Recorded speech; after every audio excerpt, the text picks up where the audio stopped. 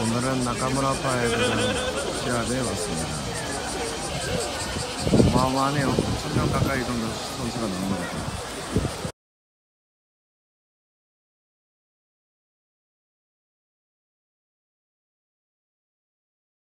어, 경기장 아닙니다.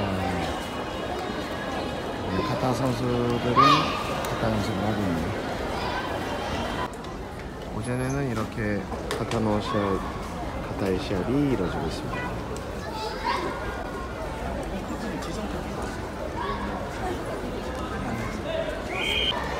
어, 소년부 콘니테가 시작되고 있네요. 이후에 장강파에도 시작이 되고요.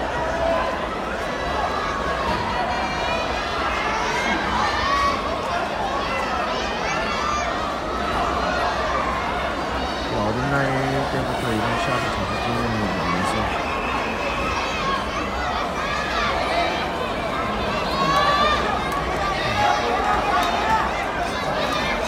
핑크들 초등학교 1학년이나 유치원 애들 같은데 이런 시합이 굉장히 많습니다.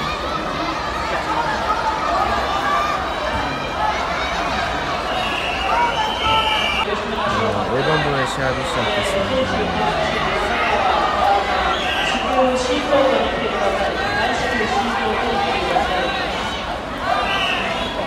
어, 주심을 보시는 분이 스미카니 시안이라고 현역 시절에 굉장히 배워쳤던 분이에요.